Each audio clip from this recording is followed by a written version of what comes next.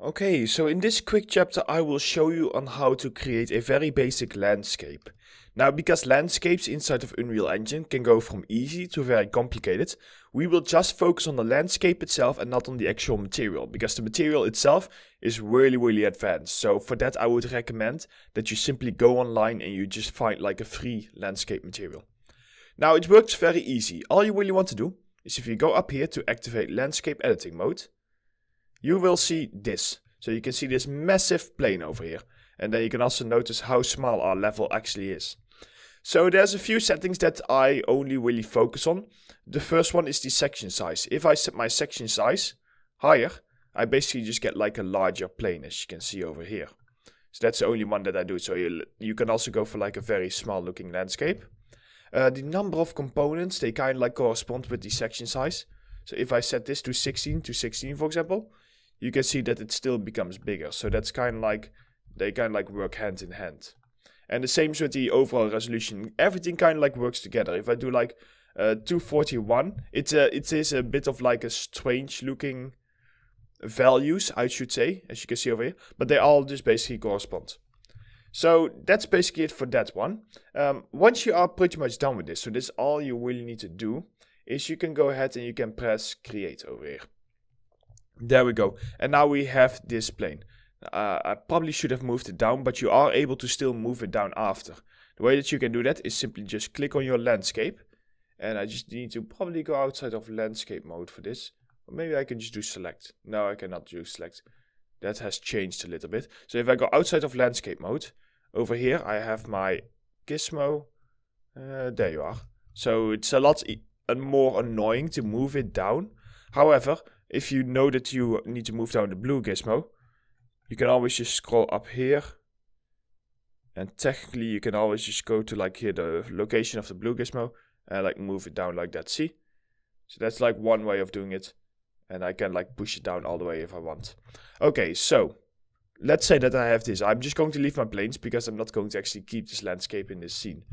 As soon as you go ahead and you click on the landscape and you create it, you will have a bunch of options. You will have the sculpt option, this is a classic. It's basically if I just set my brush size down here a little bit lower, it's this stuff. I can basically just sculpt on my landscape as you can see. And uh, yeah, it's just quite easy to just create like some very basic looking mountains, for example. Let's say that I create like some mountains over here. And the reason I want to do that is because I want to show you a few of the sculpt options and then um, just throw on like a basic material and then call it a day. So let's say we have like uh, some mountains over here. They're not very nice, but it's just for the purposes. Let's say that they are too sharp. What I can do then is I can go to my smooth option. By the way, you have all of these brush options over here, although I personally just leave them at the basics. You can go ahead and you can like smooth this down to make everything like a little bit softer. We have the flatten option. The flatten option, you should be able here, if I like set this, it will be able to make everything flat.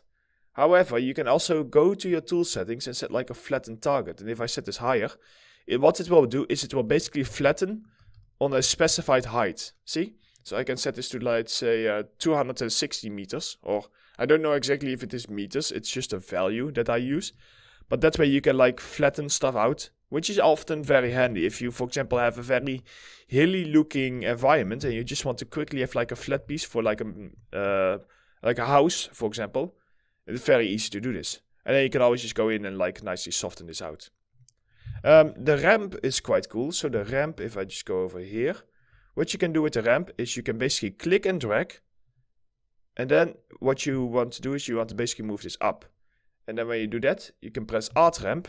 And what it will do is it will basically add a ramp based upon these two values. And you can always just like set this lower. And I believe that if you then press Add Ramp, yes, it will add it. And yeah, you can even set it like sideways. So this stuff is really cool. Although if you set it sideways, sideways it will of course uh, just keep also the old one. But yeah, so this stuff is really cool, especially if you do like uh, racing games or even if you're just having like a ramp going towards a building. The erosion is really cool. The erosion basically will give our mountains like a little bit more flair as you can see. So you can see that they instantly look a little bit more realistic. And erosion basically just means like weathering effects, like uh, uh over the millions of years of rain and uh, just like a bunch of other weathering effects, you can get like a bit of erosion. over here, and also sun. Over here you have the hydro. The hydro is specifically towards rain. Um, at this point I probably want to just make my mountain a little bit larger so that we can actually see what I'm doing. Here we go. So the hydro is specifically for rain. You can see that it's a bit tricky to see it because um, our terrain is so basic. But um, it will basically adjust based upon the rain. We have a noise. It will just add some random noise to our terrain. Retopology. So the retopology, if we do that one, it basically adds a little bit more polygons. And basically makes all the polygons a little bit cleaner wherever we paint it. I think I can go to wireframe to show you. So here, for example, wireframe, and then I show you this. This looks not as nice. So if I do retopology, it will basically try to like do a very quick retopo and just make all of your geometry feel a little bit nicer and less stretched. Uh, yeah, that's how I should say less stretched. So that's just the retopology. It does not actually change your values, but um, it's still quite nice. And then we have visibility and the mirror and the select and the copy. I personally have never used them. Um, so I assume that visibility is just like that I can paint out certain areas, but uh, I honestly I'm not sure. As I said before, Unreal is a very large program. You can definitely look into it. Uh, the mirror function I also have never really used, but I assume it's just like mirroring your entire terrain. So if I do this and press apply, yeah, see here. So it's just about mirroring your entire terrain, just like that, and you can just do like a very easy mirror. So the tools are very basic also, I should say that. Uh, select, you are able to select something, and copy, uh, copy data to Gizmo. So it's probably like here, we copy this over here. But honestly, yeah, this one I'm not completely sure about. But uh, I don't want to show you something that I do not know. Because you will most likely also never really use it. It's not really what this is about. So over here we have like our terrain and everything if I just go clear region selection in our select so that we don't see that stuff. So we have our terrain over here, so that's pretty good. Now, as I said before, the landscape can also handle materials. However, materials for a landscape, they are very specific. And unfortunately, it also means that they are very difficult um, to set up. However, your landscape can also have actually normal materials. I can even literally drag on like my cobblestone material on this, although I should go outside of edit mode.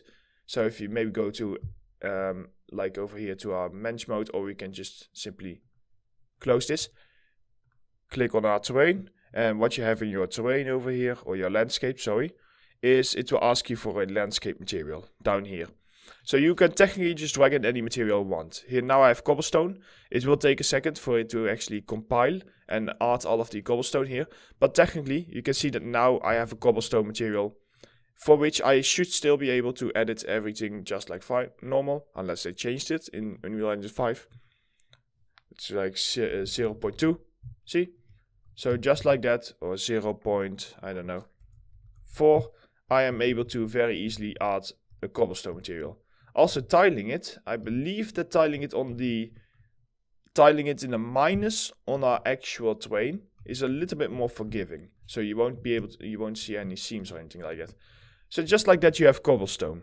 Now your terrain basically uses something that's called vertex painting for this. But as I said before, I will personally not go over that. What I would do is I would, for example, just uh, showcase a create an instance and just call this gray, for example. And for this material, I would like set my roughness to zero, um, translucent amount to zero, or sorry, to one. Oh wait, so this material is already translucent, so it wouldn't really make much sense for me to throw on a translucent material. You can of course remove the translucent if you want, but uh, for this demo it's not really worth it. In any case, you can just drag in whatever you want on this, including like a very base material. I can even go, for example, to materials, create new one, call it gray, gray A, I mean, and just drag that on. Oops. There we go. And then you will just have like a very basic gray material. Uh, looks like it shows as black, so we might just want to very quickly add like a constant, three vector, and just make it like gray. I'm doing this very quickly just to show you on how to like uh, have like a nice default that I often use when I'm sculpting because when I'm sculpting I just like to often just preview it in gray like you can see over here.